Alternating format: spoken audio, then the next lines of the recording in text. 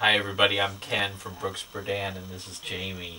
Welcome to Brooks Berdan's YouTube channel, and thank you for watching. Hey, we're going to talk about Magico speakers today, and principally, they have a brand new model, the A3. We're going to have it in about two or three weeks, and we'll be back to talk to you about it then. So I'm going to give you some of the details and tell you why we're so excited about this speaker. Let's go in the sound room. Okay, we're in the sound room. This is our main sound room. This is one of our very favorite Magico speakers here at Brooks Berdan.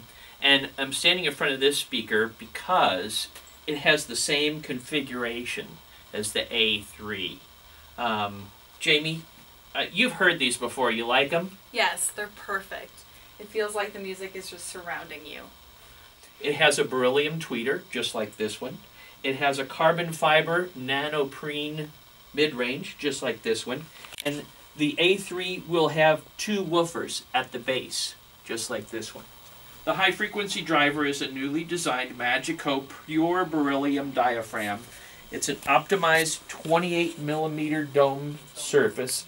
The mid-range driver is a newly developed 6-inch mid-range. It employs a multi-wall carbon fiber cone with a layer of XG nanographene it has a low frequency driver, dual 7 inch woofers incorporate a version of the new Gen 8 Magico Nano-Tec cone.